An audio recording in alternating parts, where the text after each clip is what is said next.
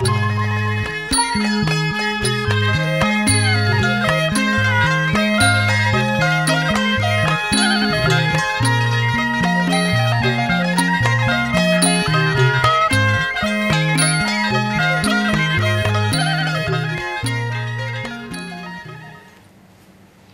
ំបាទសូមគោរពនិងជម្រាបសួរដល់ទូរទស្សនិកជនដែលកំពុងតាមដានទស្សនានៅ កម្មវិធីស្វែងយល់អំពីការពិនិត្យបញ្ជីឈ្មោះនិងការចុះឈ្មោះបោះឆ្នោតឆ្នាំ2022ជាទីគោរព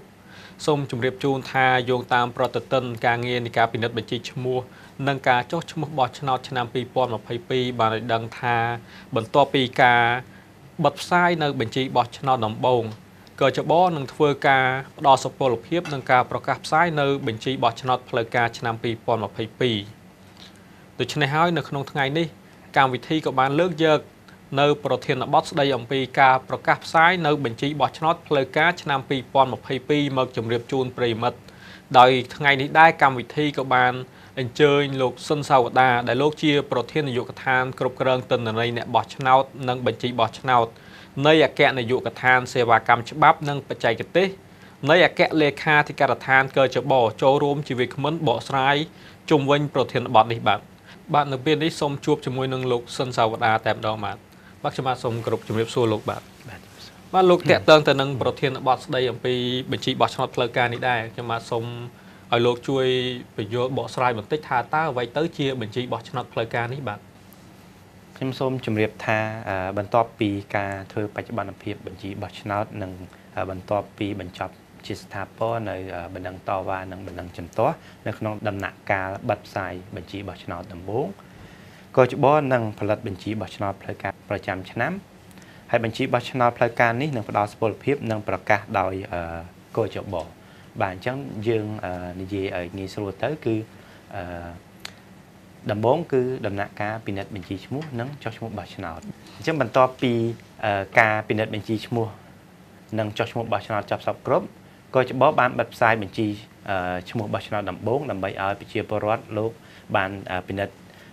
បញ្ជីបោះឆ្នោតជាពិសេសនោះគឺពិនិត្យតនន័យអឺប្រសិនបើពិនិត្យឃើញថាមានកំហុសឆ្គងលោកអាចប្តឹងតវ៉ាឬក៏ប្តឹងជំទាស់ទៅលើការចុះឈ្មោះបោះឆ្នោតរបស់ជនណាម្នាក់ដែលមិនគ្រប់លក្ខន្តិកៈអញ្ចឹងបន្ទាប់ពីដោះស្រាយបណ្ដឹងតវ៉ាឬក៏បណ្ដឹងជំទាស់នោះចប់សពគ្រប់បញ្ជីនោះនឹងក្លាយទៅជាបញ្ជីបោះឆ្នោតផ្លូវការតែម្ដងបាទ បាទលោកតេតើងទៅនឹងបញ្ជីបោះឆ្នោតផ្លូវការនេះដដែលបាទតើត្រូវមានទិន្នន័យអ្វីខ្លះនៅក្នុងបញ្ជីបោះឆ្នោតផ្លូវការនេះបាទបាទអរគុណចំពោះសំណួរនេះដែរគឺក្នុងបញ្ជីបោះឆ្នោតផ្លូវការរបស់យើងហ្នឹងគឺមានទិន្នន័យដូចខាងក្រោមឈ្មោះនិងលេខកូដរាជធានីខេត្តឈ្មោះនិងលេខកូដឃុំសង្កាត់និងឈ្មោះភូមិឈ្មោះទីតាំងនិងលេខកូដការិយាល័យបោះឆ្នោតកូនប្រអប់ និងលេខរៀងឈ្មោះនៅក្នុងបញ្ជីបោះឆ្នោតអត្តលេខអ្នកបោះឆ្នោតរូបថតអ្នកបោះឆ្នោត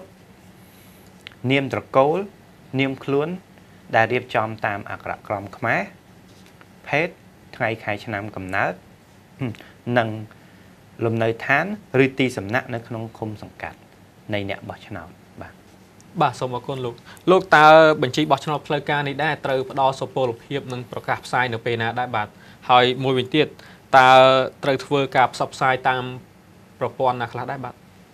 បាទសូមអរគុណបាទផ្អែកទៅតាមប្រតិទិននៃការពិនិត្យបញ្ជីឈ្មោះនិងការចុះឈ្មោះបោះឆ្នោតឆ្នាំ2022ការផ្ដល់សុពលភាពនិងការ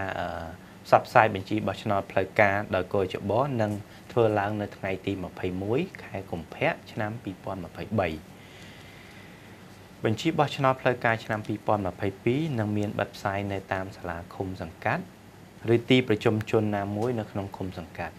និងគេហទំព័រផ្លូវការរបស់កោចបដែលមានអាស័យដ្ឋាន voterlist.nec.gov.kh ក៏ដូចជាមាននៅលើ អាប់ផ្លូវការរបស់កោចប NECKH ដែលមាននៅក្នុង Play Store និង App Store បាទសូមអរគុណបាទដោយលោកបានជម្រាបជូនហើយថាបញ្ជីបោះឆ្នោតផ្លូវការនេះធ្វើការផ្សព្វផ្សាយតាមគេហទំព័ររបស់កោចបផងនិងធ្វើការផ្សព្វផ្សាយទៅតាមប្រព័ន្ធកម្មវិធីទូរស័ព្ទដៃទំនើបឆ្លាតវៃនេះ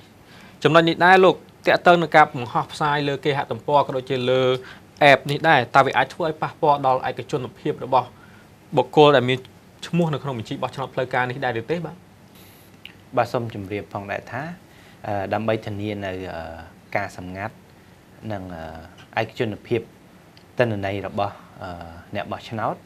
ក៏ចបបានធ្វើការបង្ហាញតនន័យតែមួយចំនួនប៉ុណ្ណោះនៅលើគេហទំព័រក៏ដូចជាអាប់ផ្លូវការរបស់កចបដែលមានដូចជាឈ្មោះលេខកូដរាជធានីខេត្តលេខកូដនិងឈ្មោះឃុំសង្កាត់ ឈ្មោះភូមិនិងលេខកូដឈ្មោះលេខកូដនិងឈ្មោះការិយាល័យបោះឆ្នោតអត្តលេខលេខអខឬលេខអអក៏ប៉ុន្តែយើងបង្ហាញតែ3ខ្ទង់ចុងក្រោយតែប៉ុណ្ណោះបាទបាទបាទនាមត្រកូលនាមខ្លួនភេទថ្ងៃខែឆ្នាំកំណត់អ្នកបោះឆ្នោត បាទបាទលោកតកតើទៅនឹងបញ្ជីបោះឆ្នោតផ្លូវការឆ្នាំ2022នេះដែរតើប្រើប្រាស់សម្រាប់គោលបំណងអ្វីខ្លះបាទបាទសម្រាប់បញ្ជីបោះឆ្នោតផ្លូវការឆ្នាំ2022យើងនេះអឺនឹងត្រូវប្រើប្រាស់សម្រាប់ការបោះឆ្នោតជ្រើសតាំងតំណាងរាស្ត្រនីតិកាលទី7ឆ្នាំ2023ខាងមុខនេះនិងសម្រាប់បំរើទៅតាមតម្រូវការច្បាប់មួយចំនួនដូចជា សម្រាប់ក្រមរក្សាឃុំសង្កាត់បញ្ជាក់ពីការមានឈ្មោះនៅក្នុងបញ្ជីបោះឆ្នោតសម្រាប់បេក្ខជន ឆោឈ្មោះបោះឆ្នោតសម្រាប់បញ្ជាក់ការមានឈ្មោះក្នុងបញ្ជីបោះឆ្នោតសម្រាប់ភ្នាក់ងារគណៈបកនយោបាយសម្រាប់ការពិនិត្យនិងដើម្បីចុះហត្ថលេខាផ្ដល់សុពលភាពឯកសារបញ្ជាក់អត្តសញ្ញាណបម្រើឲ្យការបោះឆ្នោតដែលចេញដោយកខសបហើយបញ្ជីបោះឆ្នោតផ្លូវការឆ្នាំ2022នេះក៏សម្រាប់យកទៅប្រើប្រាស់ សម្រាប់ការពិនិត្យបញ្ជីឈ្មោះនិងចុះឈ្មោះបោះឆ្នោតឆ្នាំ2023ផងដែរបាទបាទសូមអរគុណលោកដោយសារតែពេលវេលាក៏ជិតដល់ទីបញ្ចប់ជាចុងក្រោយនេះដែរតើលោកមានអ្វីដើម្បីជម្រាបជូនបន្ថែមជុំវិញប្រធានបទខាងលើនេះដែរឬទេបាទបាទសូមអរគុណអឺជាចុងក្រោយនេះសូមឲ្យប្រជាពលរដ្ឋទាំងអស់ត្រៀមឯកសារសម្រាប់បោះឆ្នោតនិងកត់លេខរៀងនៅក្នុងបញ្ជីបោះឆ្នោតលេខកូដក៏ដូចជាឈ្មោះការិយាល័យដែលត្រូវទៅបោះឆ្នោត ហើយសូមឲ្យប្រជាពលរដ្ឋទាំងអស់គ្នាសូមចូលរួម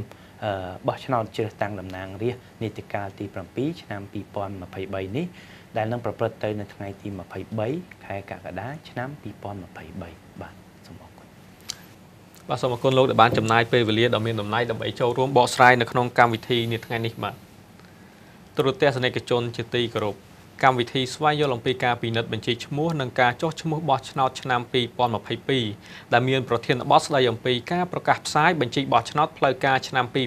2022ដែលលោកអ្នកបានតាមដានទស្សនាបាញ់មិញនេះសូមចប់តែប៉ុណ្ណេះខ្ញុំបាទរួមជាមួយនឹងលោកវាគ្មិនសូមអរគុណនិងសូមជម្រាបលា